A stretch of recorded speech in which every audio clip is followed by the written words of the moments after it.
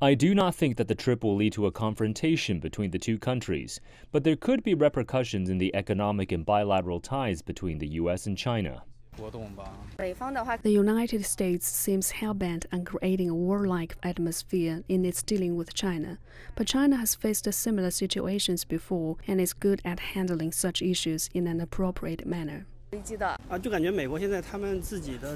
The United States government is working in a fragmented manner, with politicians pursuing their own agenda.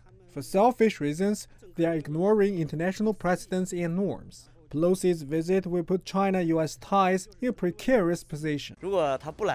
If she doesn't make the trip, it will show that the United States did make some concessions in this matter.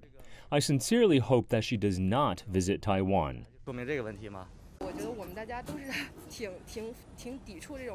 Opposition to Pelosi's proposed trip has been widespread, including from some people in Taiwan. I hope that she cancels her trip.